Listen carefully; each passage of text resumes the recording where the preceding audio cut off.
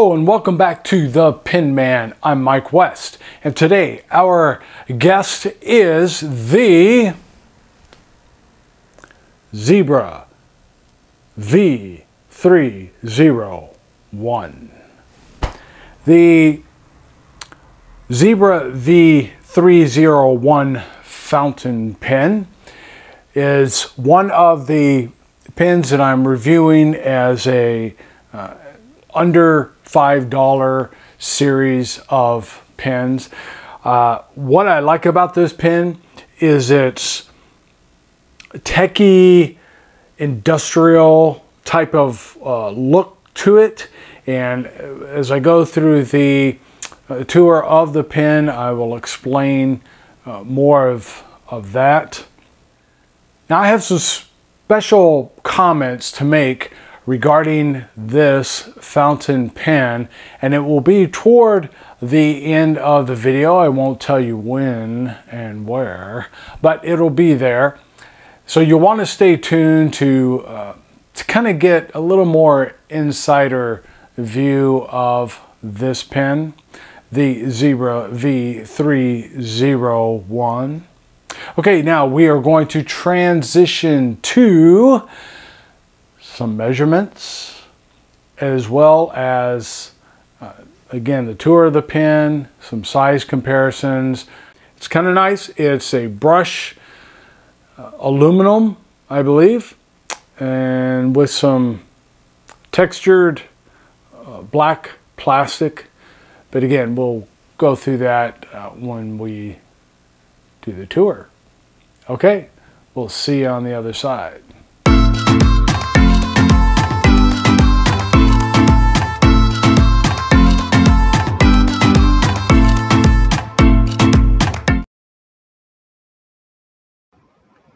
And now we have a tour of the V301, the Zebra V301. The body is aluminum or uh, perhaps stainless steel, but like a brush look to it. Very nice. The clip is tight, but works well. It's curved on both sides of it so that uh, easy on, easy off uh, from your pocket or other uh, place you want to put it there.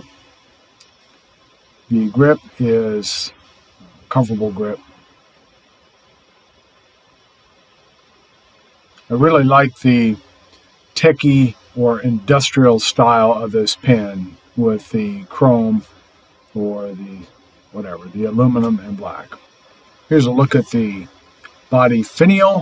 As you can see, it's just a basic black. And then on the one side, it just says China. The end is uh, has a step down to it there. Nothing fancy, but uh, there it is. Here's the cap finial. Just a circle on the top. Again, nothing fancy, but this is not a fancy pen. It's more of an industrial type look to it. And there we have the zebra. Had it right the first time. All right, so here you have the grip section and nib section. I really like the hooded nib there. And there's the uh, bottom part of the feed. Be kind of neat to uh, cut this thing open just to see what's what's on the innards. The grip is uh, textured and it's got uh, ribbing uh, both horizontally and vertically. It's a comfortable grip. And then there's this little nub there uh, it doesn't get in the way because you're not going to be uh, touching that part of the grip and just to help the cap uh, click on there. Open it up. This uh, takes proprietary cartridges. I don't think it has any converters, but somebody said, I believe they said that um, it will take uh, Sailor maybe some Sailor uh, cartridge uh, converters. So just cartridge. The grip and uh, section there is uh, there. It's all plastic there, but it's a comfortable pen in the hand. It's plenty long enough for to use unposted. It's got a nice weight to it, not too heavy, not too light. That's why I believe it's uh, aluminum versus stainless steel, but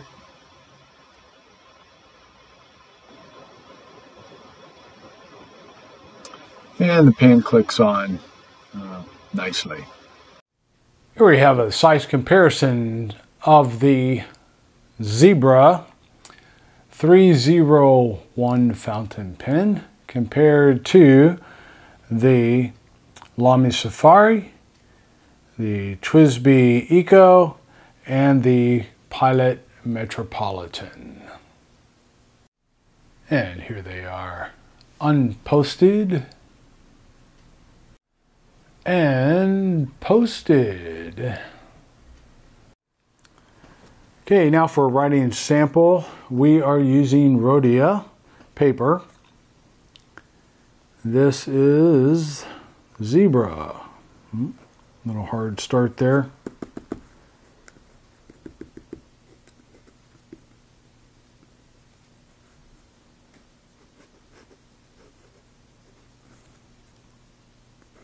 V301. This is a fine nib and you know it because it is um, kind of scratchy. I removed uh, this pin, which by the way, it does post, has this little click right there. So it posts securely. Uh, it does not feel back weighted really at all. Maybe it's because the the cap is so short relative to the body and uh, it's being metal it's not really that heavy of a heavy a pin you don't really know. It does stick out a little bit but not like some other pins when they're posted so. But it will post. Okay I removed in order to try to get some ink flowing uh, through this pin hopefully it's not drying out here uh, I replaced the supplied uh, ink cartridge. It comes with two ink cartridges, and this thing came in a cardboard uh, wrapping with uh, you know the plastic, clear plastic around it. Uh, yeah, I was having trouble, as I'll explain a little bit, with the um, the flow of the ink. So I replaced, try to get that going. Uh, another reviewer uh, I read re just replaced the ink in the cartridge. So that's what I did, and I am using Monteverde brown sugar.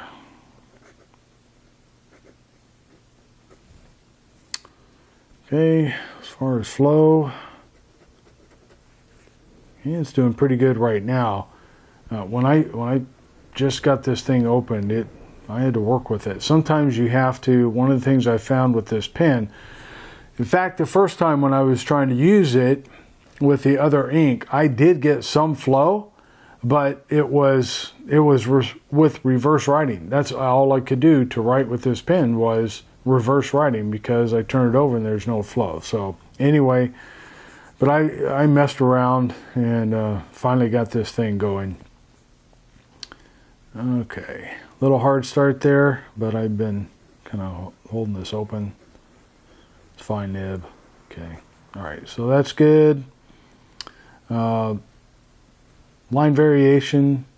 You can get some line variation for a, a, hooded nib and with just that little bit of the nib out there. That's I, I think that's pretty good. Oops. Hard start. Okay. Turn it over. Try to get some.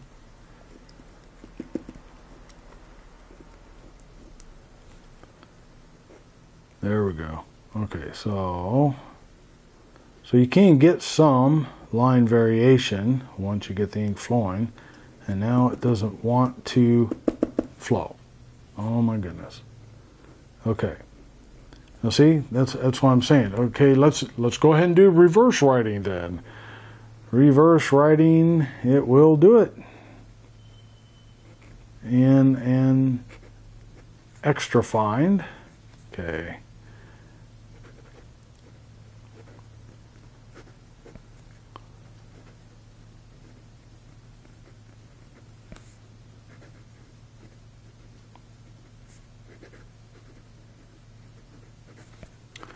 Writing increases brain power. Okay, uh, let's see. I did the reverse writing, flow, etc., etc. And uh, I, again, I'll, I'll explain my disappointment with this pen, but as you can see, there are issues with this pen. And therefore, ah, so you got to turn it over, kind of press down there to get some flow going. Okay, so while I got some flow going, let me say that this pen does not make me happy. Ah, I am I am sorely disappointed with this pen. With the way it looked and everything, I was I was pretty excited about um, about buying this pen, but um, yeah. Um, I'm disappointed. So, but anyhow, there is the writing sample for the Zebra 3 V301 fountain pen. Zebra, please do some work on this pen because I think I think this could be a very popular pen if you deal with the flow issues. All right, thanks. All right, I told you earlier that I have some special comments to make on the Zebra V301 fountain pen. My friends, when I, when I review a fountain pen, I like to do so in the manner of a gentleman that visited our, our photography club uh, one that I was in uh, years ago. And what we used to do as a club every month, we would not only show off our photos, but we would also invite in a guest, a professional of some sort, to critique some of our photos. We had this one guy that came in and he he said that when he critiques, he only points out the positives of a photograph because he says if you can see what you're doing right, then that'll help you to correct your wrongs. And I agree with that in large part. But sometimes when something really needs to be pointed out, and that's why we do reviews, is to help you, the viewer, to make a wise and informed uh, choice. So here's what I'm going to tell you about this pen. When you read the reviews of this pen, for instance on jetpens.com, eh, you're going to see some a, a wide variety of, of reviews. You're going, to, you're going to have your five stars, you're going to have the one stars, and that really help happens with a lot of products. And you got to kind of weigh those because sometimes people just, uh, you know, are having a bad day. Things don't work out exactly like they want, or they they just get a you know once in a million product that doesn't work and so they they do a bad review. When i reviewed this pen on jetpens.com i gave it a one star. I never i don't think i have ever given anything a one star review. Well i probably have but anyway it's rare. With this pen the problems i have with this pen and you'll see those in the reviews a lot of pe other people are having is that trying to get it going.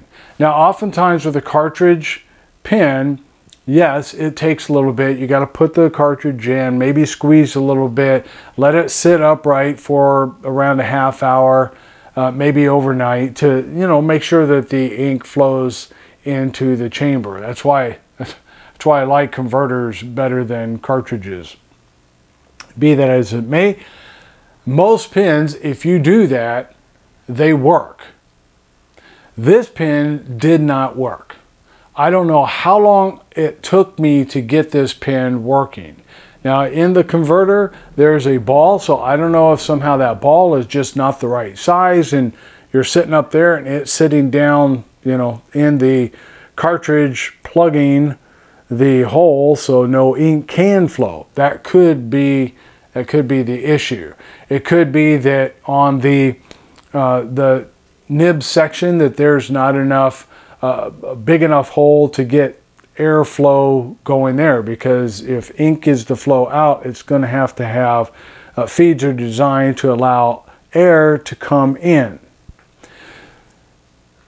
Whatever the reason is, this didn't this didn't work, and I flushed uh, as as you saw in the writing sample. I flushed the uh, the ink out of the provided cartridge and I put uh, another ink in and it still didn't still didn't work. So again, I don't know what the issue was. I flushed this thing, I cleaned it, I did so much with this. And finally I laid this thing on its side, so maybe that ball just kind of rolled down, and eventually some ink uh, started flowing and that's why I was able to do a review on that on this pen writing sample. So uh, my personal opinion is unless you're willing to go through all of that to try to get this pen to work because it, it, it, does have a cool design. That's why that's one of the things that I was excited about. You know, for an inexpensive under five dollar pen, you, you just don't find them that look like this. So uh, uh if you're willing to take the knowledge that I've given you and run with that and say, okay, I'm going to buy this pen, but I know I got to do, take these steps to get it working. Uh, if you're willing to do that, go ahead and buy this pen. Like I said, it's a, it's a cool design.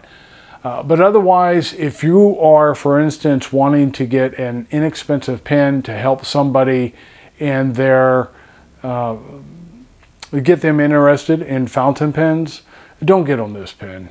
Don't don't waste your your money on this pen. I mean, yes, it's less than five dollars, but it's not worth turning somebody off uh, from fountain pens or frustrating yourself. So next week I will be reviewing another zebra pen and that one will go much better. All right. Thanks a lot. Take care. Hey, I want to thank you for taking time in your busy day to tune in to the Pen Man and to check out this, this review. And I encourage you to leave comments below that might not only help me to do a better job in reviewing uh, pins and pin related projects, but especially to help other viewers to know more about these products because maybe you have bought the pen based on my review or some others' reviews, and you have your own two cents to uh, to throw in there. Hey, we're all just trying to help each other out. So, thanks again, and again, be sure to All right, and check out a couple of these other uh, videos that um, might be of interest to you. I hope so. All right, thank you and have a great day.